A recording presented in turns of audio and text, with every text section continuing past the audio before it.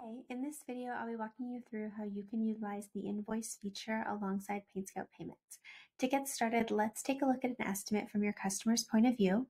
Once your client receives the estimate, reviews all of the details, they'll be able to press the accept estimate button and digitally sign their signature. From here, they can now press the pay deposit button and enter in their credit card details. Once the payment is successful, your customer will receive two emails. The first, a payment confirmation email, and then the second, any thank you email that you've previously set up for their initial acceptance.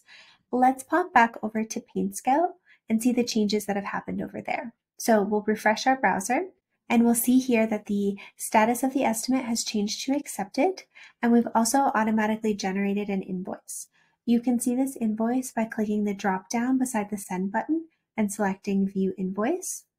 You'll notice that it's already in partial status because we've already reported that deposit payment, which can be seen in the payment section down below and also reflected in the subtotal box under the amount paid. And you'll now be shown a new balance due. To collect the remaining balance from your customer, you can do it two ways. The first is going to be sending this invoice as an email.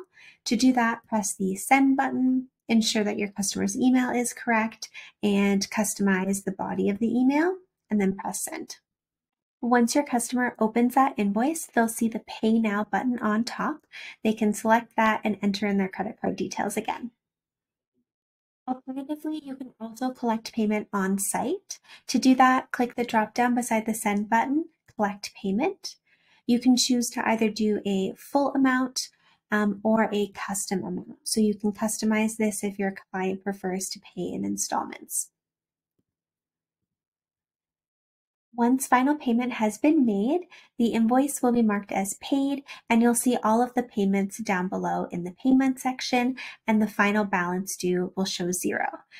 Hopefully this has provided some clarification on how you can best use invoicing alongside PaintScout payments. If you have any questions, feel free to reach out to our support team at support at paintscout.com and we're happy to help.